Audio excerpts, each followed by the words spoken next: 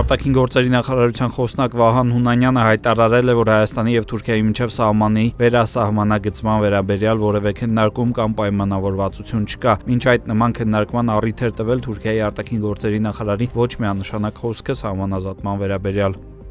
Գլխավոր դատախազությունը հայտարարություն է տարածել ըստ որի հավաքների առանձին մասնակիցների եւ այլոց կողմից հանրային խոսքում կտրուկ ավելացել է նաեւ այլախոհության նկատմամբ անհանդուր ժողականության եւ ատելության խոսքը արձանագրվել են բռնության կիրառման կամ բռնությունն արդարացնող կոչեր դատախազությունից զգուշացրել են որ իրավահամակարգի անցավոր խաթարման փորձեր կատարողներն անվերապահորեն ենթարկվելու են համարժեք իրավական պատասխանատվության Գլխավոր դատախազությունն ուսումնասիրել է հանրապետական Ռուսլան Բաղդասարյանի գույքը եւ հրավիրել է ապօրինի գույքի բռնագանձման գործով դիրքորոշում ներկայացնելու համար։ Բաղդասարյանը 2012-ից 2018 թվականներին եղել է Երևանի Դավթաշեն վարչական շրջանի ղեկավարը։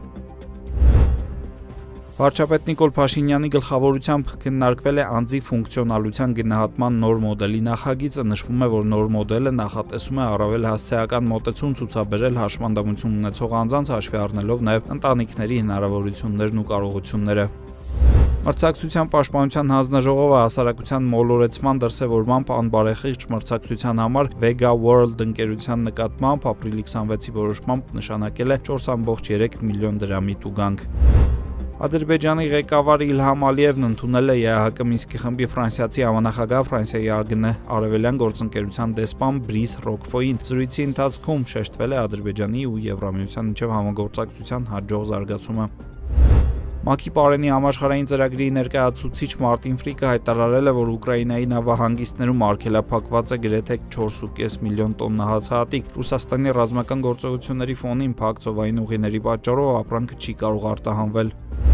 Ուկրաինայի պաշտպանության փոխնախարար Աննա Մալյարը հայտարարել է, որ Ռուսաստանը չի հրաժարվում Դոնեցկի եւ Լուգանսկի շրջանները գրավելու իր ծրագրերից։ Ըստ փոխնախարարի ռուսական զորքը մտադիր է Ուկրաինային կտրել Սև ու Ազովի ծովերից։ Մայիսի 12-ին Ֆինլանդիան որոշում կկայացնի ՆԱՏՕ-ին անդամակցելու հարցի վերաբերյալ այս մասին հայտնել է տեղական մամուլը նշվում է, որ երկրի նախագահն ու վարչապետը հակված են ՆԱՏՕ-ին անդամակցելուն։ Ռուսաստանի 18 քաղաքներում մայիս 1-յան ակցիաների ժամանակ ավելի քան 200 մարդ է բերման ենթարկվել նման տվյալներ է հրապարակել OVD Info իրավապաշտպան նախագիծը։ Ձերբակալվածների ամենամեծ թիվը գրանցվել է Մոսկվայում ու Սանկտ Պետերբուրգում։